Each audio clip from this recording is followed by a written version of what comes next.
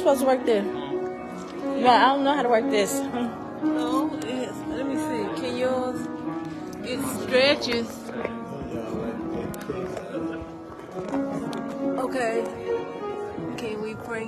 Yeah, How about that? That's that's not good. Oh, the camera is on the other side. Oh. Right there where it's There it is.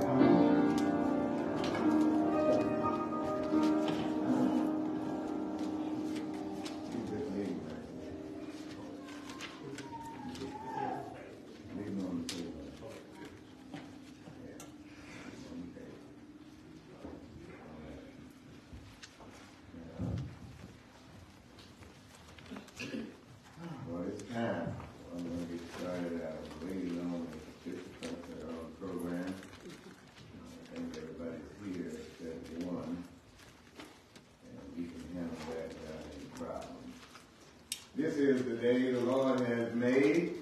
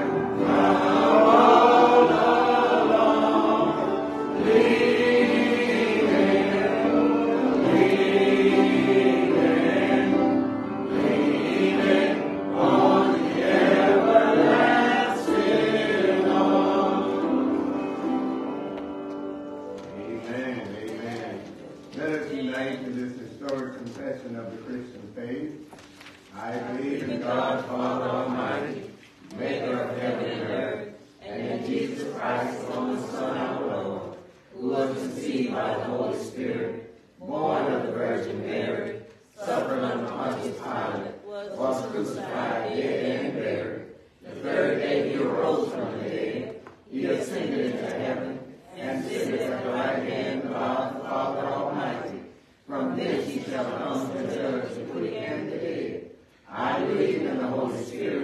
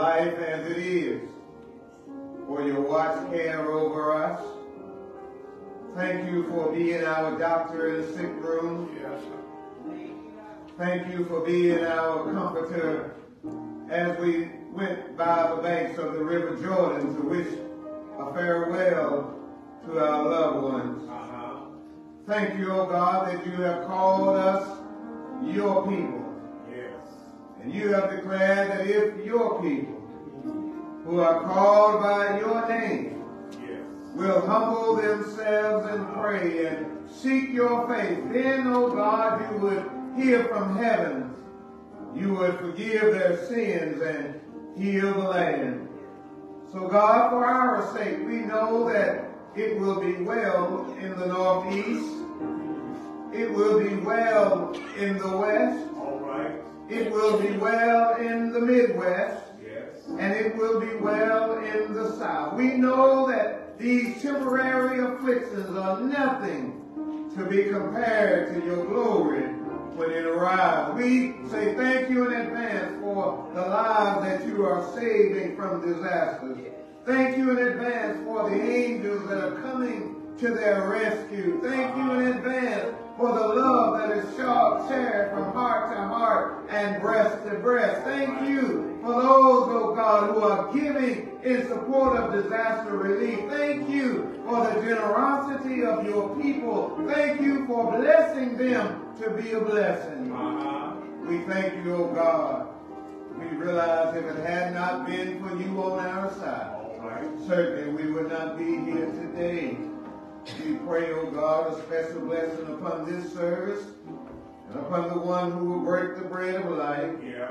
We thank you, O oh God, for everyone you intended to be here yes. is here right now. Uh-huh. We thank you that they have answered the call and come to your house to be of service to you, to worship and praise your holy name. So God, we pray for healing. We pray for salvation. We pray for reconciliation.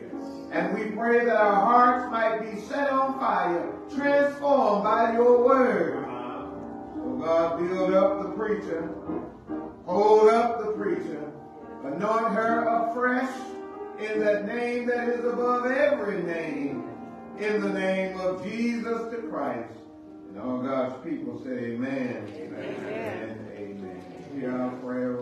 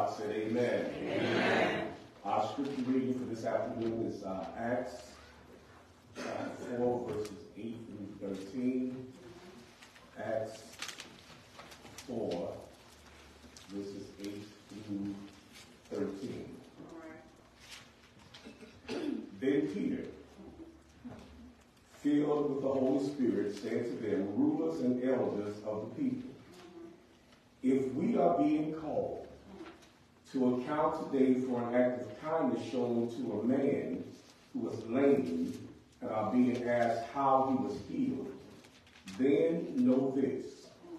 You and all the people of Israel, it is by the name of Jesus Christ of Nazareth, whom you crucified, but whom God raised from the dead, that this man stands before you healed. Jesus is the stone you builders rejected, which has become the cornerstone. And salvation is found in no other, no one else, for there is no other name under heaven given to mankind by which we must be saved. When they saw the courage of Peter and John and realized that they were unschooled, ordinary men. They were astonished and they took note that these men had been with Jesus. May the Lord bless the reading of his word. Amen.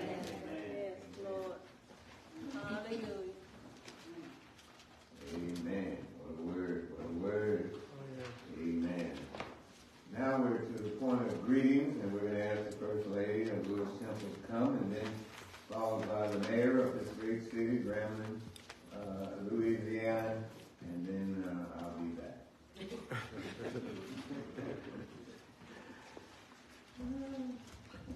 Welcome to the triune God, God the Father, the Son, and the Holy Spirit. To our presiding prelate of the Fourth Episcopal District, Bishop Kenneth Wayne Carter, in his absence, and to his spouse. To the pastor of this church, Reverend Dr. Earl J. Sr., to the mayor, Alvin Bradley, and his beautiful wife, Monica Bradley. to the presiding elder of the Minden District, Reverend Gwendolyn, Reverend Dr. Gwendolyn Pavone and her spouse in their absence. To the presiding elder of the Shreveport District, Reverend Larry Anders and his wife, Mrs. Gail Anders, in their absence. To the presiding elder of the Monroe District, Reverend Elmer Jones and his wife, Mrs. Timberline Jones, in their absence. To our guest speaker, pastor of St. Mary Finley Temple, in, uh, Reverend Dr. Marvette Thomas, and her congregation. To all the connectional, regional, district officers, to all the pastors that are in attendance and their spouses, to the members of Lewis Temple, and to all of our friends that are here today. I would like to graciously and humbly welcome each of you this evening. And while I'm standing, I'm going to go ahead and read an occasion. The occasion for which we have assembled today is to worship our Heavenly Father in the beauty of holiness as we observe our 145th anniversary slash homecoming program. We give thanks to, the, to all who are in attendance, both in person and on Zoom. God is great and greatly to be praised. So let us worship our God together as sisters and brothers. I have a friend named Lillian at my home church in Georgia. Every time I go home, she always run up to me and say, welcome home. so you are in our Father's house. So I say to each of you, welcome home.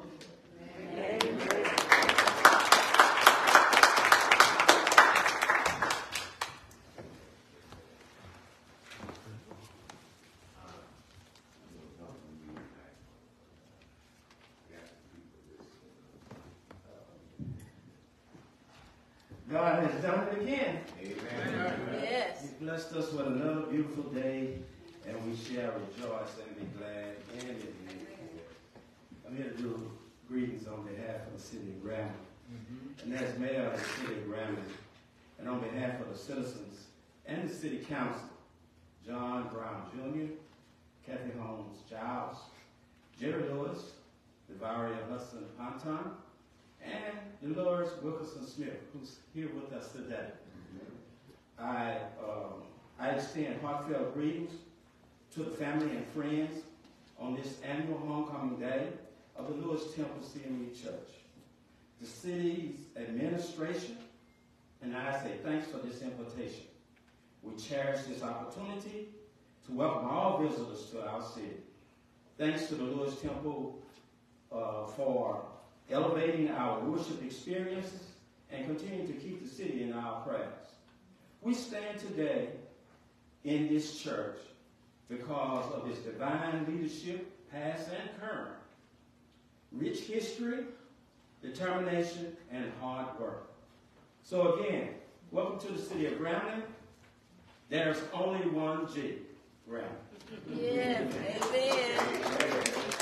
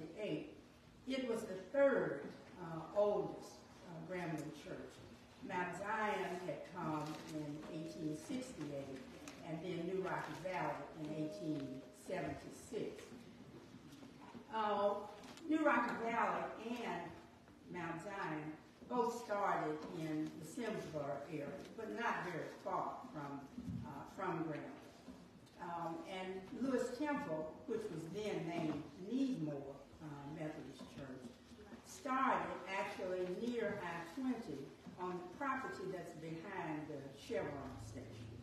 That property had belonged at one point to Mud Robinson's uh, uh, grandfather, Mr. Toad Jones. Um, but it was donated by Senator, Louisiana Senator Alan Green. Um, and one of the things I'll just inject right here is that we probably in Grambling need to look very carefully at Alan Green and, and his contribution uh, to this community. Grambling really started in the area where Mount Zion and Liberty Hill Baptist Association are. And that was called the Allen Green community because Mr. Green owned all of that property out there, uh, which is the western part and although he was not directly responsible for the formation of so many Grambling institutions, but it was his property where these things occurred. So the relationship, and though he was a very controversial political figure, uh, not liked at all by Ruston uh, Democrats at the time, uh, but Alan Green was a member of a group of radical Republicans, and he saw to it that blacks had the vote. We had political positions uh, during that period of time, but eventually that was taken away. But Reginald Owens and I talk about this all the time, that we really need to take a, a deeper look and pay some kind of tribute to the fact that he allowed so much of Grambling to develop uh, on his land. but at any rate, when Lewis Temple started, because it was in Grambling, it was probably the first church to be built within Grambling because Rocky Valley and Mount Zion were outside Grambling. and both of them eventually came into the Allen Green area and settled. Uh, I think Rocky Valley probably came about 1917 from the Simsboro area, uh, and, and then eventually moved to the site where they are now. Um, when Lewis Temple started, it was started by a man named Reverend Samuel Henderson, who, along with the Richmond family uh, and the Nicholson family, um, instituted this church. Now, I want to stop and say a, a word about the Richmonds. The Richmonds were one of the most important founding families along with the Cornwells, the Garners, the Youngbloods, the Youngers, and other families, the Richmonds uh, were extensive landowners. They had, once free slaves came here to start Grambling, they got land from the former plantation owners. Some of that was purchased land, some of it was donated land, like Allen Green donated land, and Allen Green donated other land uh, in Grambling as well. But the Richmonds were very integral to the beginning of Lewis Temple. And in fact, the Richmonds owned about all of the village, all the way around up to New Rocky Valley. And in fact, the land that Rocky Valley is on, they purchased from Lafayette Richmond. So the Richmonds are key to the settlement and founding of Grambling, but they are key to the building of this church uh, as well. Um, as long as the church was near the interstate, it was called Needmore Church. Eventually, it moved to the area where Rocky Valley Cemetery is, and it was along the, the railroad track. But at the time, what was happening in Grambling, a lot of institutions were being built. The Liberty Hill Baptist Association came on in 1882. Um, Lafayette Richmond started a farmers union that had 1,500 black farmers as members from five parishes. You also had the VS&P Railroad here. They were servicing um, the sawmill that was near the village here. Uh, but it was also bringing people into Grambling. And the Liberty Hill Baptist Association was spearheading a lot of activities that brought people into Grambling. Uh, Lawrence Garner likes to say that it's because of the political networking of the churches, of Grambling's churches, that Grambling became a focal point for African Americans in this area. But that VS&P Railroad helped a great deal too, because people could get here. Uh, but other folk came by wagon, by horse, and by feet. Uh, so, but Grambling was pretty much a hub of activity around that time because free slaves were trying to establish themselves. And they were creating a very thriving farming community because when they got to Grambling after emancipation, uh, the one thing they knew how to do was farm. They had been farming all along. So they had cotton farming here and they created a, uh, a tenant farming system, sharecropping, just like the white plantation owners had done. But that helped them to give other migrants who were coming this way after slavery jobs. They were able to share crop with them. And so that helped people who were coming. And of course, we had the sawmill, uh, and people could get jobs there. But it was these farmers, these black farmers, who really were establishing uh, this community. Now, Needmore then, when it moved in this direction along the railroad uh, I think they were looking at the fact that the village was just gradually beginning to be the center of Grant. We were just beginning to have one or two businesses here. Uh, we had a very small post office, which was right up the street where Dunn's Dairy Bar um, uh, was. Uh, J. Andrew Galden, who wrote about the village years ago, said that the post office was so small, you had to go outside to turn around.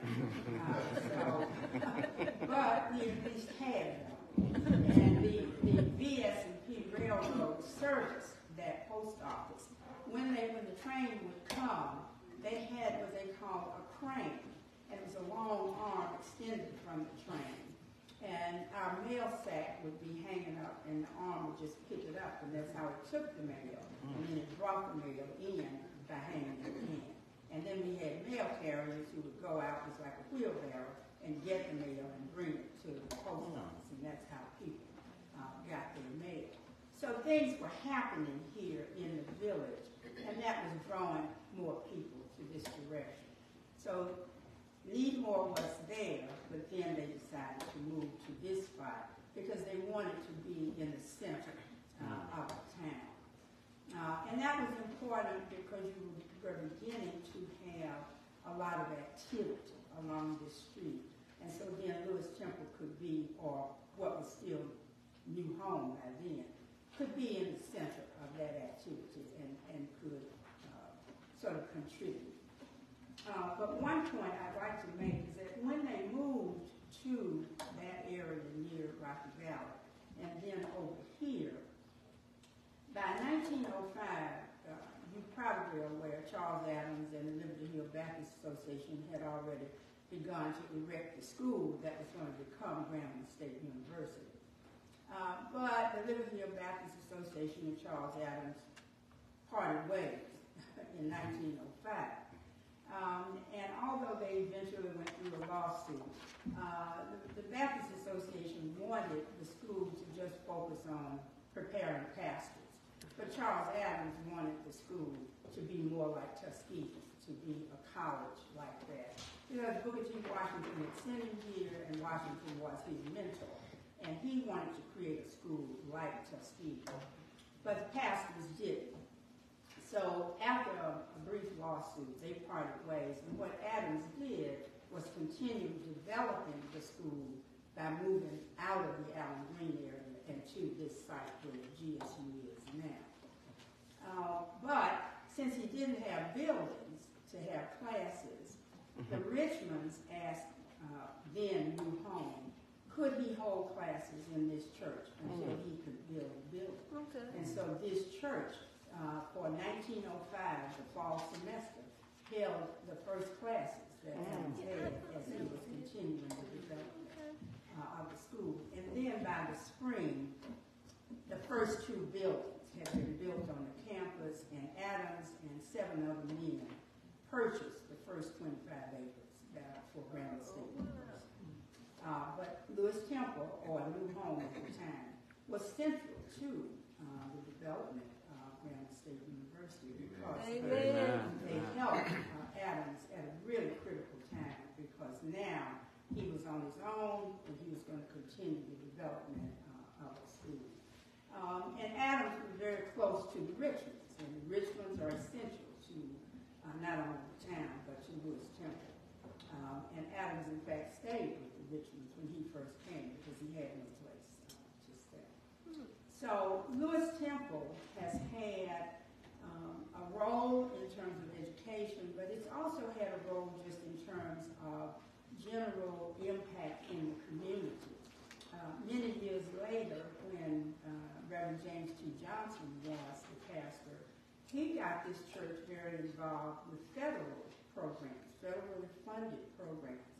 And those programs were aimed at helping to create a smooth transition from segregation in the public schools to desegregation. So Lewis Temple participated in two large federal programs uh, that were aimed at helping. And the other thing that Lewis Temple was doing at that time was they had a food service program for the community, for needy families. They were also paying people's utility bills uh, as well. Uh, and here we are today, and we have a food service Yes, program yes. out here Around the circle. every third Thursday. So things that started years ago are still being, you know, carried, carried on. Uh, but this church, like Mount Zion and like New Rocky Valley, were really the bulwark churches uh, of this community. Um, and they did a lot to help stabilize the community. Uh, there were only a few Methodists in the area, but this church served those few Methodists. And then gradually, uh, the church grew.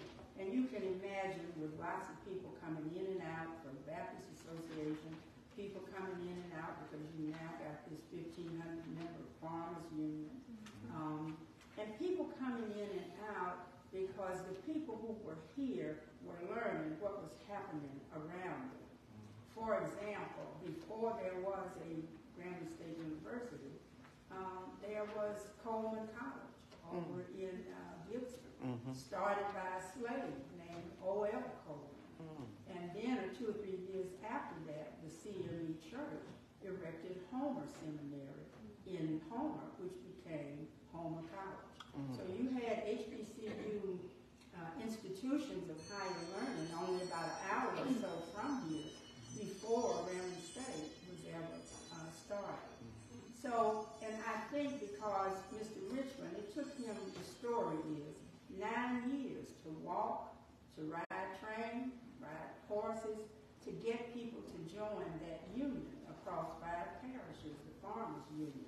So you can imagine that he was traveling around and he could see what was developing in other places. And so you had education as a huge factor in this entire area uh, of North Louisiana. Um, so Lewis Temple continues today to focus on some of the things that got it started. Um, and although COVID obviously has impacted every church, but every church in Grambling is still continuing to do its work.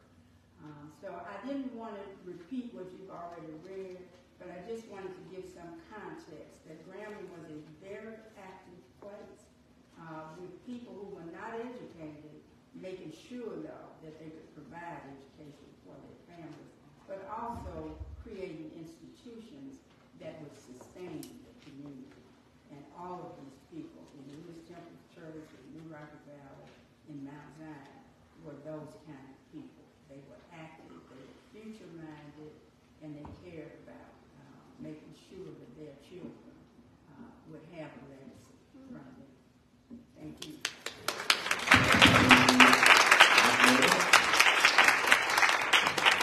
That's the right one. Amen. Let's give it a hand. That's why this is so important. It puts everything in, what do you call it? Perspective. That's that word. I know y'all know it. We educate people. All right. Uh, you see Brother Dallas here asking to come in because he is the cook, the cleaner, the accountant, the business guru, the community worker. Uh, and a lot of times he's on one side of the fence and I'm on the other. But together the church still stands. And I found out a long time ago you don't have to kiss somebody to work with somebody. But to give credit to whom credit is due. So my wife and I, on behalf of Lewis Temple, are presenting this card of thanks to you, Brother Dallas. Uh, we've given you something that maybe you can take Gwen to dinner with. but uh, we just want to say thank you that we noticed that you come. We noticed that we've been about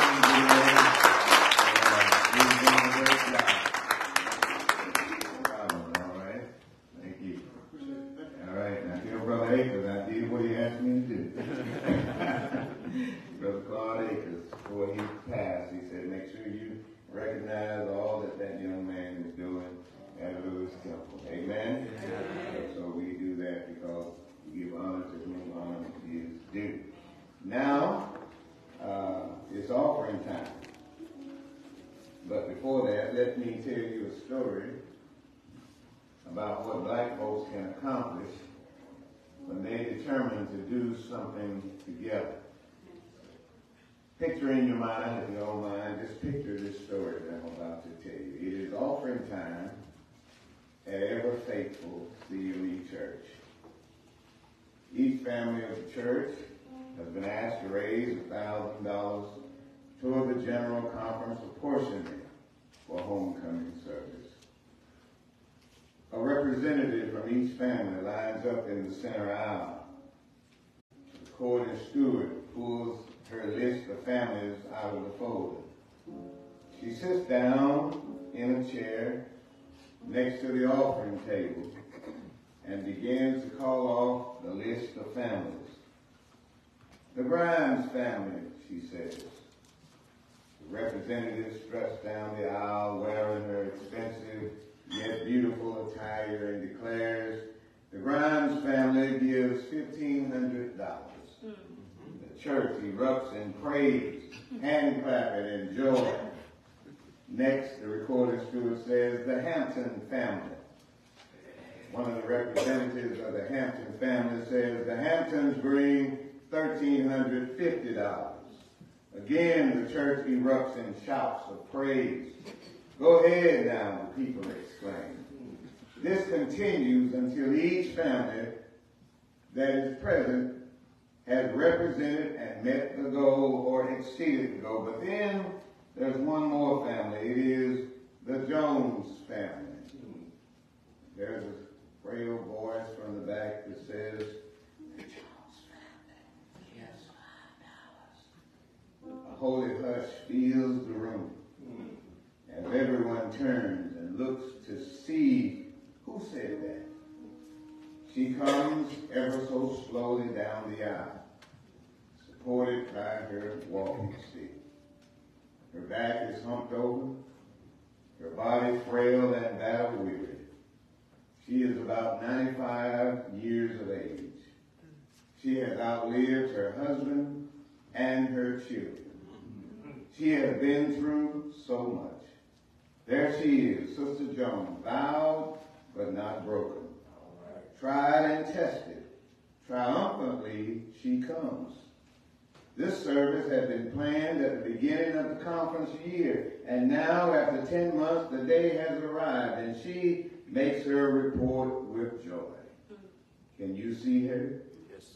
She is a fifth generation CME born and bred, tried and true. Her family had been among the first to join that small, ever faithful CME church in Choudrant, Louisiana. Strong was her faith even from a child. Her daddy used to carry her to Sunday school in his horse-drawn carriage every Sunday morning, telling her the tales of how his daddy and his daddy before him used to work the fields until late in the evening, then come home and get ready for prayer meeting and midweek service. Her daddy told her, Lisa, God owns everything, and if you tithe and bring him your best, God will bless you. Her family had been known to sell the prize cow at the county fair, bring the money back to their church for homecoming service so their church could continue to survive. Theirs was a proud family, CMEs, dedicated to ensuring each did their part. But now she comes, leaning on her staff, making her way slowly up the aisle to once again represent her family at the meeting. Five dollars among so many larger, more profound sounding gifts. Five dollars represents a year's effort of setting aside something for homecoming meeting. Five dollars from a widow who had no social security coming in from her husband's work and only a small check of her own. A widow who subsidized her meager income by selling eggs in the community. Yet strong was her faith, for down through the years she had learned to lean and depend on God. Was her offering significant? Was her offering just as grand as those who came before her? I tell you, yes. So was her example of stewardship. And I believe you ought to give her a hand because she represents so many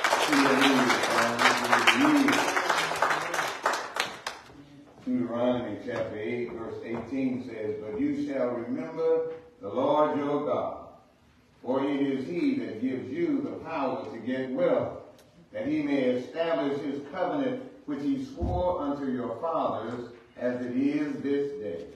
Yes, you worked the land, but God gave the increase. Yes, you worked for your salary, but God gave you the favor to get the job and the help to do the job. Yes, you earned that degree and studied long and hard, but God gave you the understanding and wisdom to apply what you learned. God blessed you so that you could be a blessing. His covenant with you is at stake this afternoon. All right. Thus, Lewis Temple and our friends, we, we have a covenant to keep this afternoon. Members of the Christian Methodist Episcopal Church know that covenant well. We know what is at stake when we pay conference apportionments. For the CME Church sponsors to the tune of $177,000 per year for historically black colleges. That's per college. Paine College, Augusta, Georgia. Miles College, Birmingham, Alabama. Texas College, Tyler, Texas. And Lane College, Jackson, Tennessee. This, this church sponsors its own seminary to train its ministers to serve its churches in all 50 states and overseas. The Phillips School of Theology, a member seminary of the Interdenominational Theological Center in Atlanta, Georgia.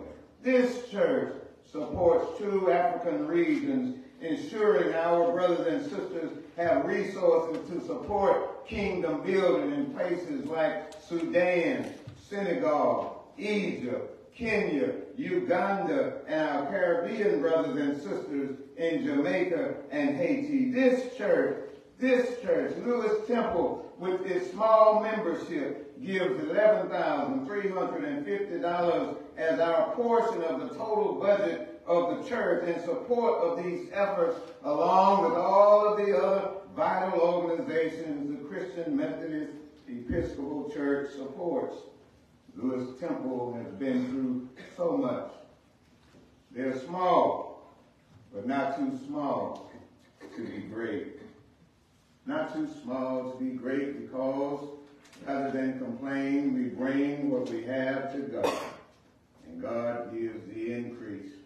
And then those friends of ours who down through the years, as Sister Miller has just outlined, come to our services, come to help us with our ministries. They too are giving their offerings to ensure that the legacy that our ancestors have bequeathed to us does not be left does not be left unfulfilled. Is it too much?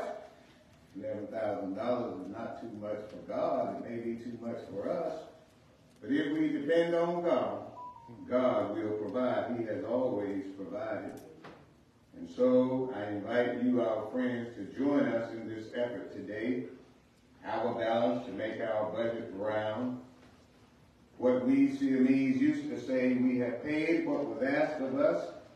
What we have remaining is $6,850. Now, Marilyn and I, being who we are, have already given $1,500 toward this effort. That's why I take my time when I'm doing offertory appeals, because I'm giver. And I have to encourage myself in the Lord. But we've already given that, notwithstanding what we gave in the fall. And so I'm asking you to help me make up the rest, which is mainly $5,350. But wait, there is more. Because just today, and at the pastor's meeting on the Monday, I believe it was, last evening, the pastors of the Monroe District gave us offerings to assist. And uh, I don't know if you have a notebook, you, you wizards with calculators and things, but let me just share with you what the Lord has done. Because Reverend Jessica Lawson, who spent time with us here in training, uh, left an offering for $100. Reverend Jackie Holiday, who was a radio broadcaster, left a gift of $25.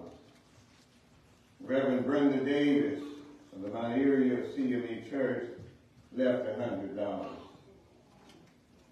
Reverend Laquita Anderson of the Ebenezer CME Church left $50. Brother Gerald Ellis, who's a member of New Rocky Valley, left a sizable contribution of $250. His wife, also a giver, left a contribution of $500. Reverend Leon Whitaker and Mrs. Clarice Whitaker left a contribution of $500. I'm on my way. I believe we're going to get there. Amen. We, we know that there's nothing too hard for God because little becomes much in the Master's hand. These are other offerings that go for service this morning, and I got to turn those into the church. But as you can see, God has already added a significant amount. Has put again, how do you eat an elephant one bite at a time? And God doesn't ask you what you don't have. God says, give what you can. I'm, I'm, I'm sort of a, being a military man, I'm always goal oriented. And so I'm going to ask each of you that are willing, if you can, to please give at least $50 or more as the Holy Spirit leads you. Now, that I know that uh, George Washington loves church. Please don't let George Washington be the only one get saved. You're going to give George, please put two or three with him so that more than just George can get saved. Amen. Listen, we are thankful for your presence here. We believe that God has a rhema word for you. There are envelopes in your bulletin. Please put your offering in there. And in the memo section, make your check payable to Lewis Temple, CME Church, and put in the memo Sacrifice Sunday because this is our celebration for all that has been sacrificed to keep the likes of Reverend C.H. Shine's memory, to keep uh, our presiding elder Caper's memory alive, to keep those who have gone like Brother Claude Akers, and, uh, Coach Poe, uh, Sister Emma Curry, and on and on and on, who were staunch members of this church. Uh, I'm trying to think of that name that's over there on the wall, Sister Sam. Right? Lim, Lim, hmm. I always mess up his name. Lemuel, Lemuel, right? Reverend Asper. Oh, say it again. Old Lemuel. Old Lemuel and his wife, uh, they have contributed down through the years and left a sizable donation down through the years, but we want to make sure they knew what we would be faced with. And we are God's people. We present it before God and give God an opportunity to make it work. Now, God chooses not to, that's on God. So we're not going to close off an opportunity for God to make miracles happen when people are together. I'm going to ask that you complete those envelopes. Those of you on Zoom, if you would, uh, if you haven't already, download the Givelify app, maybe those in this room who don't carry cash or checks, you can download, if you don't have it already, the Givelify app, and you can give your contribution, give that envelope. There is an item on the envelope that says Sacrifice Sunday, and you check that box, and your offering will come directly uh, to the church bank account. Brother Giles will get the record of it, and your giving will be uh, noticeable and noticed. If you don't have an envelope, please raise your hand. Uh, and please use an envelope because they're very important for us to know where money is going and how to account for it. Amen. Those online, please give. And if you want to mail your offering,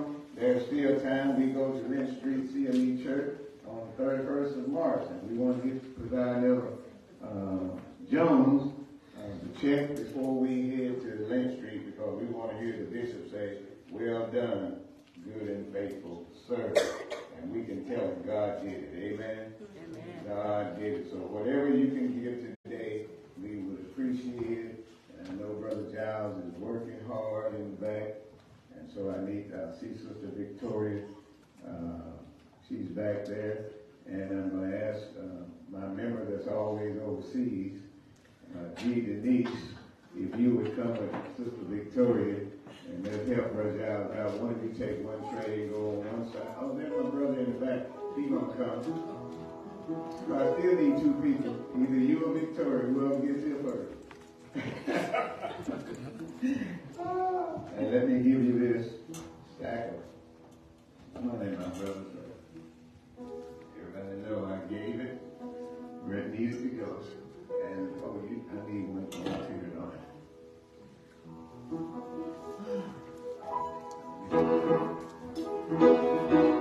All right.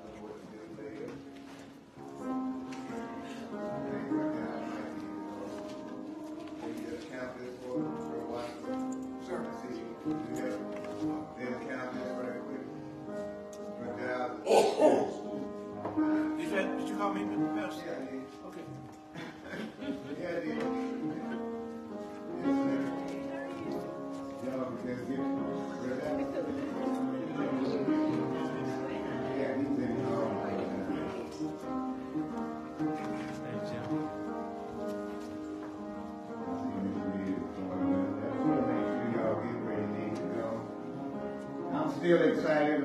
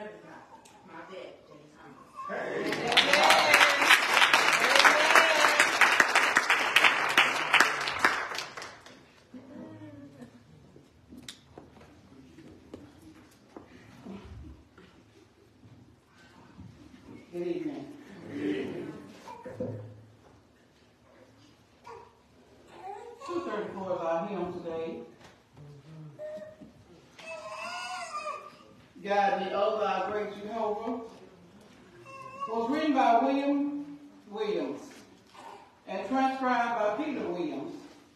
It was also incorporated in two of the most televised services of last two decades. The funeral service of Princess Diana Wales and the royal wedding of Prince William and Catherine Middleton. Why would this hymn be used for an insignificant occasion? Why has the hymn stood the test of time and a needed worshiping community? Let us see what the song means to you. God.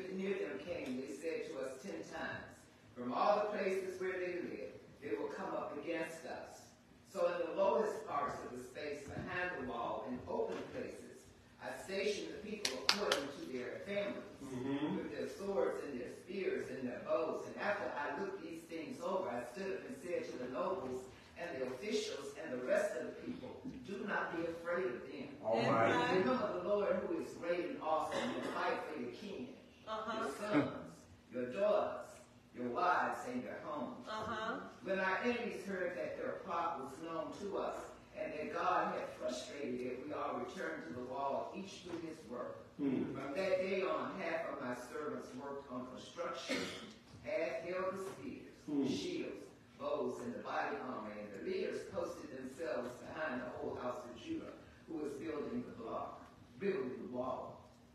The burden bearers carried their loads in such a way that each labored on the work with one hand uh-huh. and with the other held the weapon. Mm. And, and, each of the builders had his sword strapped at his side. Uh-huh. Mm-hmm. The man who sounded the trumpet was beside me, and I said to the nobles, the officials, and the rest of the people, the work is great and widely spread out, and we are separated far from one another on the wall. Rather to us, whenever you hear the sound of the trumpet, our God will fight what you say? What you Every time say? they look at the work, Mm. half of them held the spears from beak of dawn till the stars came out. And I also said to the people at that time that every man and his servant passed the night besides inside Jerusalem, so that they may be a guard for us by night and by labor of day. Okay. So neither I nor my brothers nor my servants nor the men on the guard who followed me ever took off our clothes. Hmm. Each kept his weapon on his right hand. All right. And this afternoon, Lewis Temple, I want you to stay on the wall. Amen. All right. Just stay on the wall. Shall we pray? Our Father, we just want to thank you for the gift of life. Yes. Lord, we say where two or three are gathered in your name, you are in their midst. Thank you for being with us. Thank you for our churches and for our leaders you've given us. Thank you for allowing us to come to this place Yes. and to feed on your word. Uh-huh. Let grace and peace be upon our lives, even as we depart from this place to our different destinations. All right. Let everything we've learned bear fruit in our lives so that your light can shine upon men and they may glorify you, the true and living God. Yes. In Jesus' name we believe and we pray. Yeah. Amen. Amen. Amen. Amen. Amen.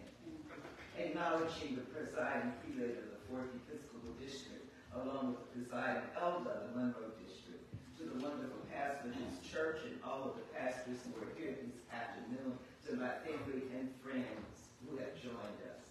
It's with fond memories that I remember the first time I stood in the pulpit here at Lewis Temple. It was in 1990, a long time ago, and I was invited to be their Women's Day speaker. And then after that, I was so impressed, I came and joined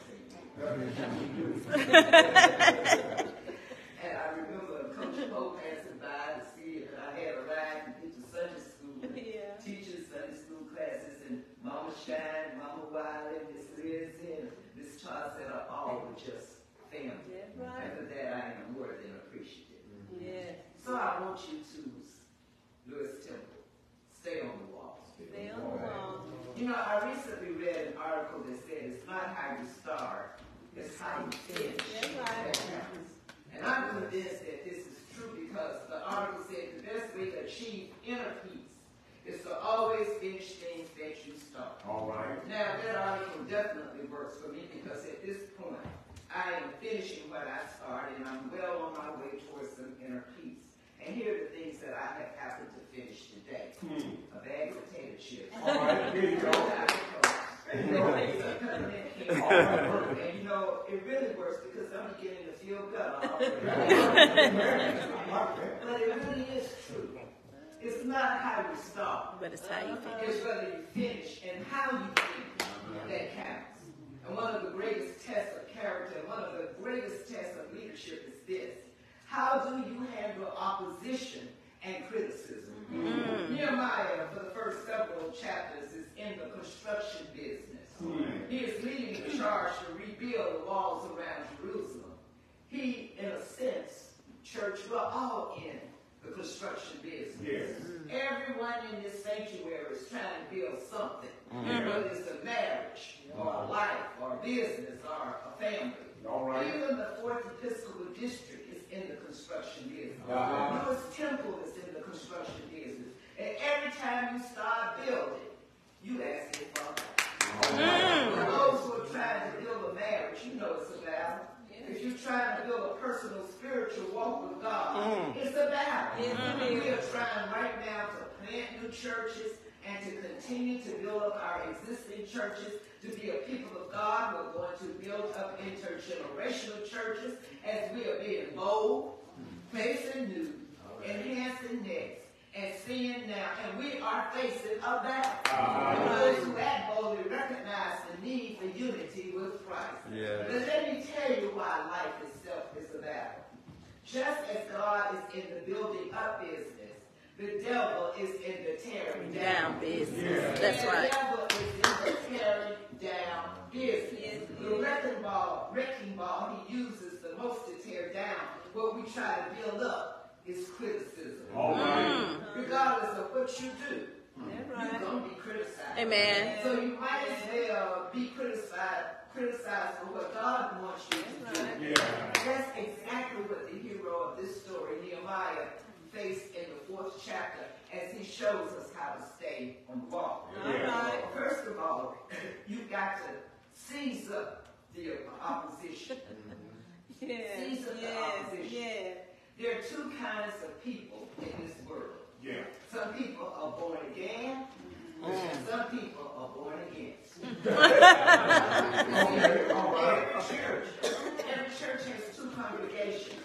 Some of us are Methodists, some of y'all are Baptists, but others of us are methodical. There are people whose sole goal in life is to criticize, to tear down, and to oppose. Yeah. Proverbs 4.16 says, evil people are restless unless they are making trouble. They can't get a good night's sleep unless they make life miserable for somebody. All right. Now you know some of us deal with these people. some of us work with these people. Mhm. All right. Many of us go to church with this people, with these people. And the truth be told, some of y'all are these people. My God, my God, my God. But you see, opposition is a fact of life. Sometimes we get this idea, this idealistic notion that if we come up with ideas that are good enough, Yeah. and projects that are positive enough, Yeah. we will escape criticism. But what you gonna be criticized? Yeah. No matter how good your idea might be, Amen. no matter how hard you try to please everybody, Mhm. there are two things to remember about criticism that will help you to deal with it. First of all, criticism is condescending. Yeah. Mhm. Now, Nehemiah and the people have gotten started building the wall when the thunderstorm of criticism breaks loose. All right. But it so happened when Sanballat heard that we were rebuilding the wall, he was furious, very indignant. He marked the Jews. Now Tobiah the Ammonite was beside him and he said, Now you know, wherever they build, even a fox, if a fox goes up on him, he'll break down a stone wall. Hmm. And, and the devil and those shepherds for the devil are always looking to insult God's work, hmm. God's word, God's workers. That is exactly what happened. You're going to find out that they primarily use two weapons. First of all, they use ridicule. Have you ever noticed how the world makes fun of God's people and makes fun of the church? Mm-hmm. Ridicule is very effective. Yeah. There are two people.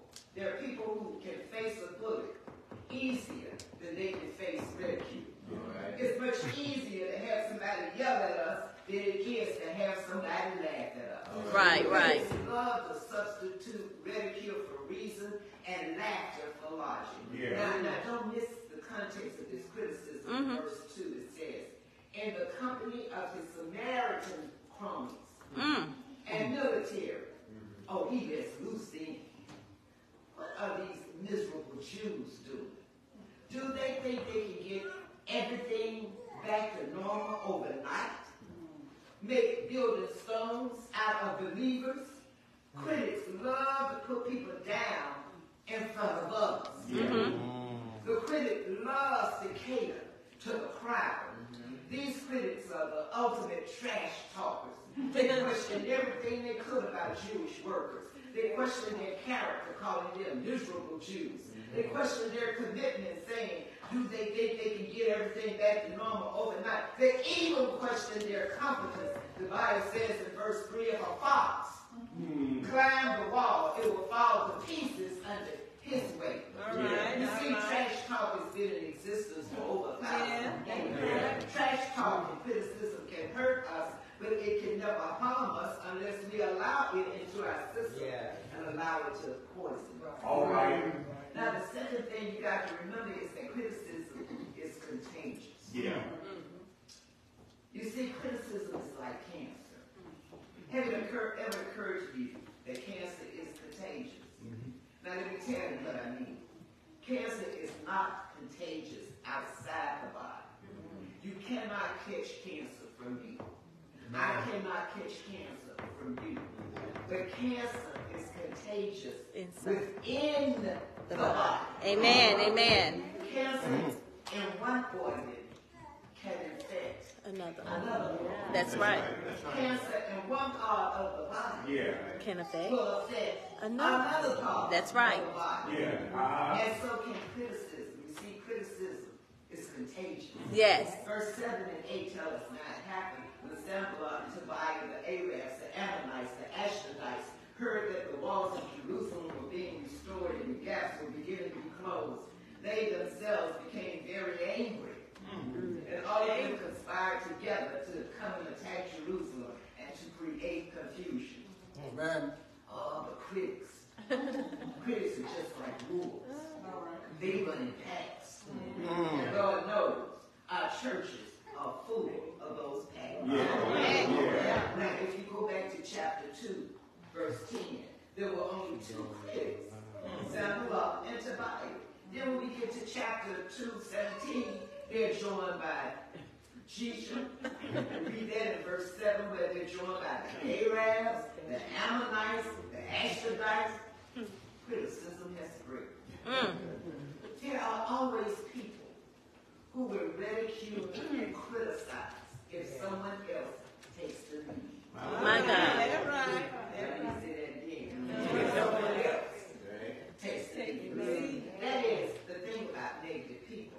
They always attract each Each other. other. Yeah. Mm-hmm. That's right. It has been said that opposites attract. But that ain't all true now. Because negative people gravitate toward other negative That's people, right, that's and right. they attract each other. Yeah. Mm-hmm. These negative people use the other weapon that critics love to use, which is rumor. Mm-hmm. Verse 12 says, uh-huh. So it was when the Jews who dealt them near came, Mhm. they told us ten times, from whatever place you turn, they will be upon us. Mm-hmm. Yeah. Now you think about that. Mhm. Think about that. The Jews who lived outside the city, who were part of rebuilding the team, uh-huh. began to pass on the same rumors they were hearing from the enemy. Hmm. They got infected with the same virus of criticism that the enemy had. Uh-huh. And there is not a bigger tool in the hand of a critic than rumor. There is nothing more difficult to fight than rumors. Hmm. The lesson to learn here is before you take on your opposition, you better seize up your opposition. And that is exactly what Nehemiah did, and he kept in mind that criticism is both condescending and contagious. All right. Now, after you've seized up, sized up the opposition, you then have to seize on the opportunity. Uh-huh. The question is not, are you going to have opposition? Or are you going to receive criticism?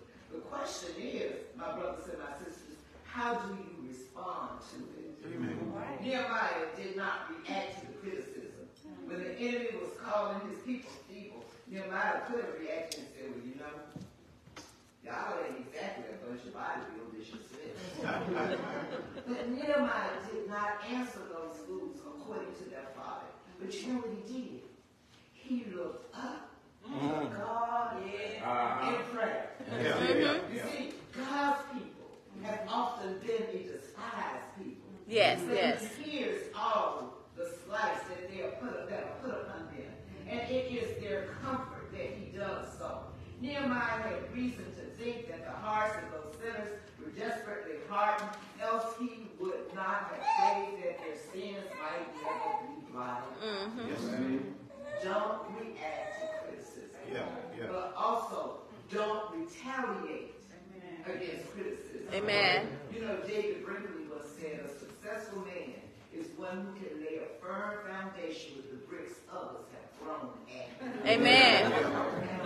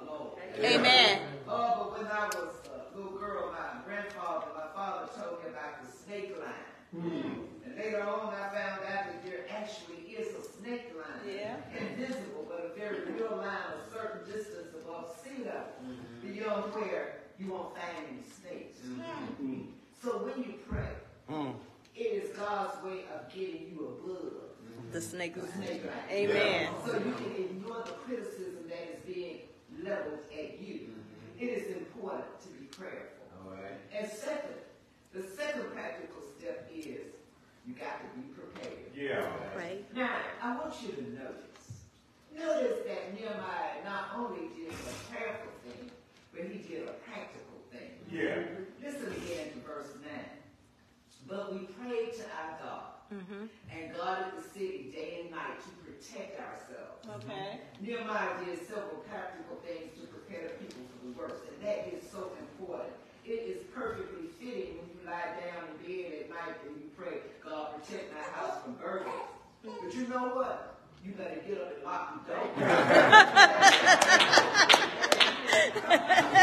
That's true. Trouble to the saying, God helps those who Who help help themselves. Yeah. that, that, that, there's a lot of Yeah. truth in that.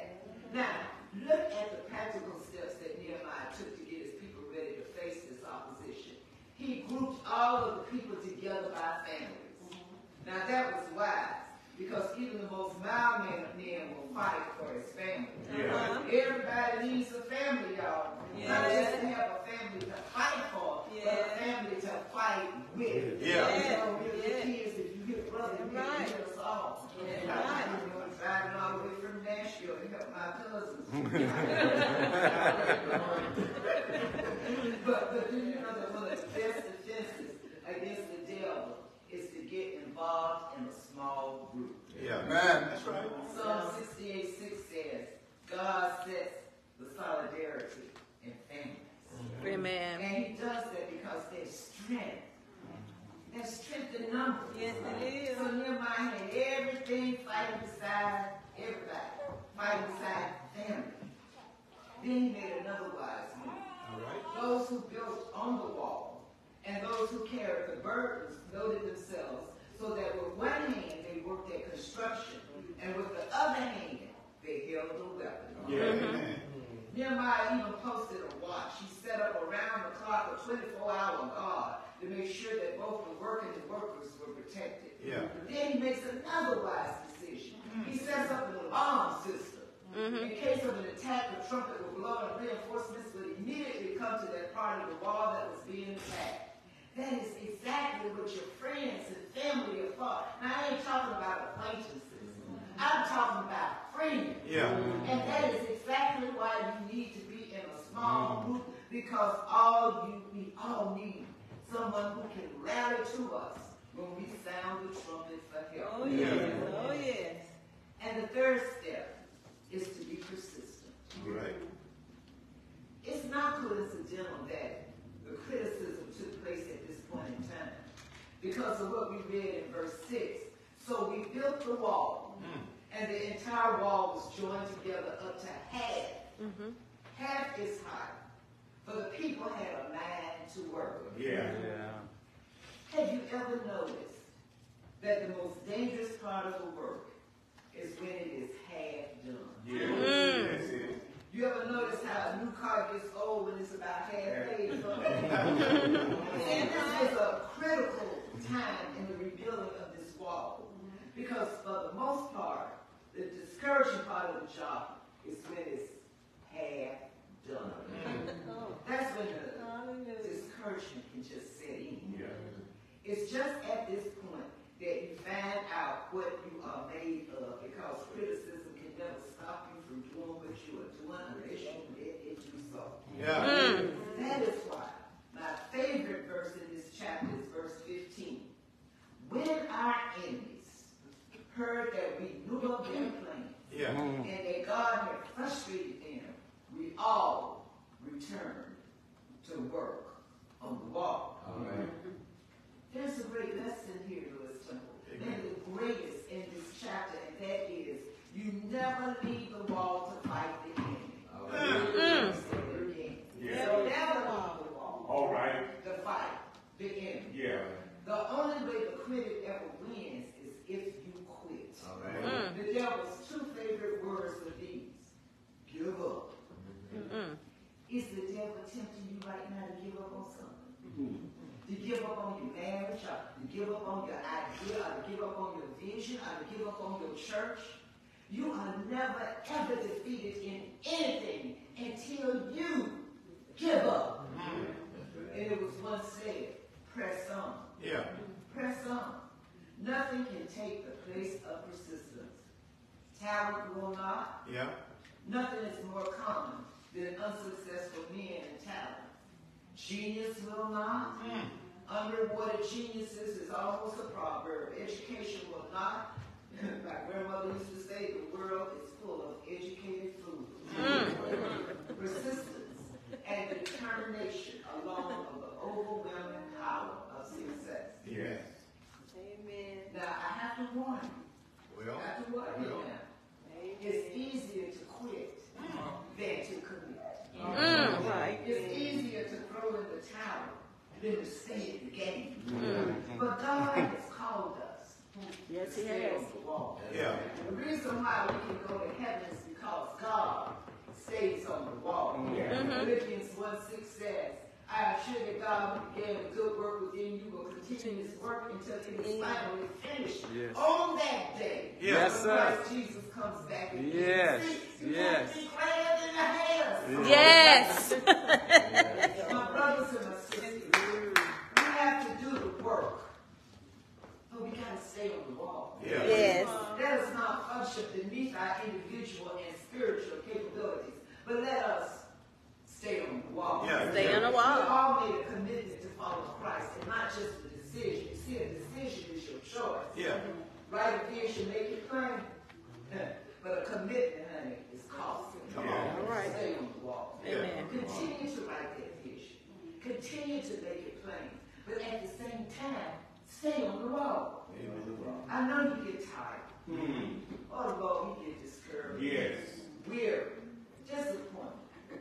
But have you not heard? Yeah.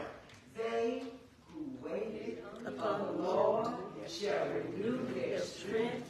They shall mount up with wings like eagles. They shall run and not be weary. They shall walk and not faint. Yes, sir. Stay on the wall. Yes, sir. Don't be afraid to do new things or to come up with new ideas. Don't fear failure because only those who dare to fail greatly will never achieve greatly. Mm, Just stay on the wall. Yeah. What God started on the cross 2,000 years ago, He will finish in heaven for all eternity. Just as God is faithful to us, let us be faithful to Him in whatever He has called to do. And I ask you this afternoon, Lewis Temple, I beg you, Stay on that wall. Yeah.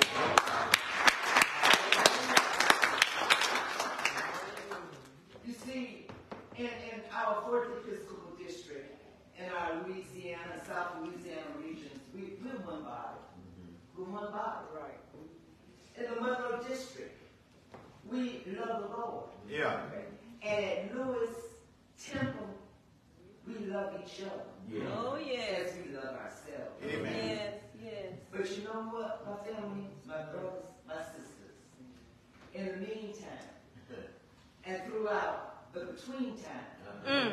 keep your mind to do the work. Yeah. And don't you ever dare get off that wall. Yeah.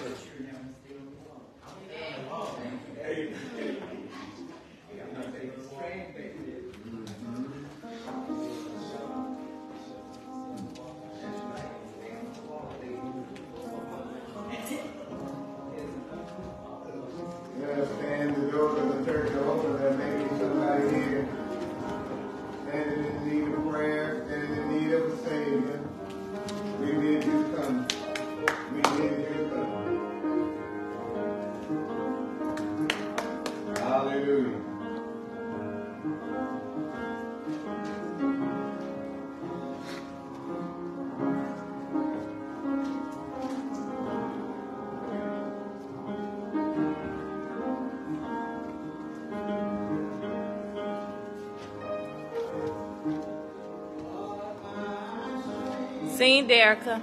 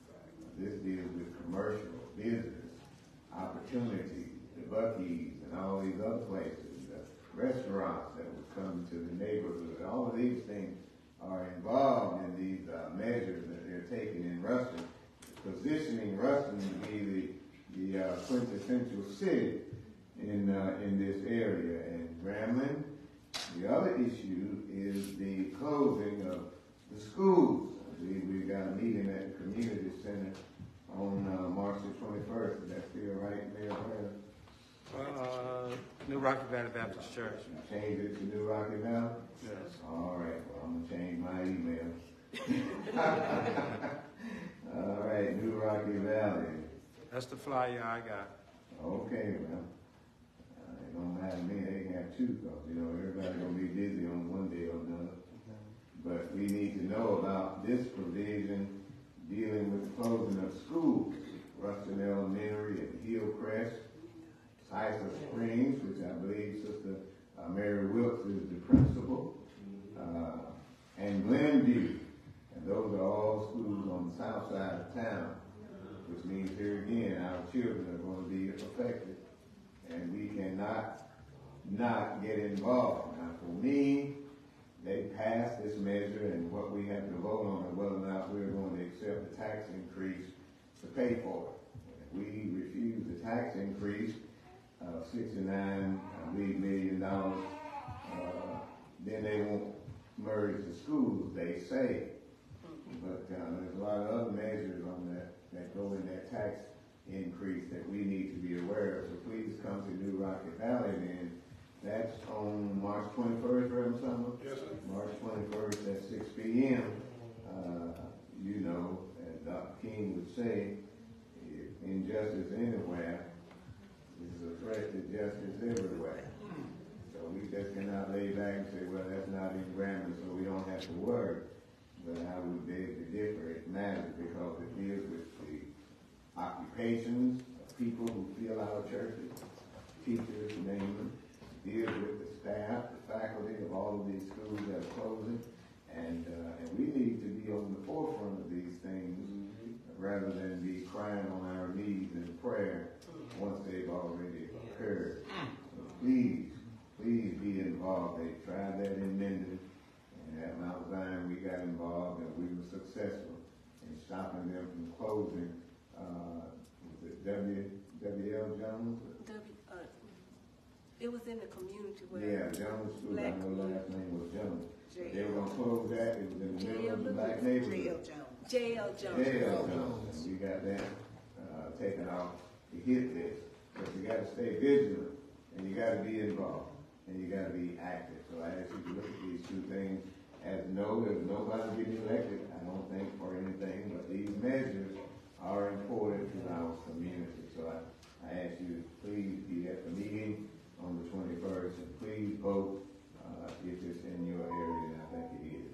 Amen. All right, uh, but I wanted to bring that up today. I almost forgot, I moved one paper and there it was.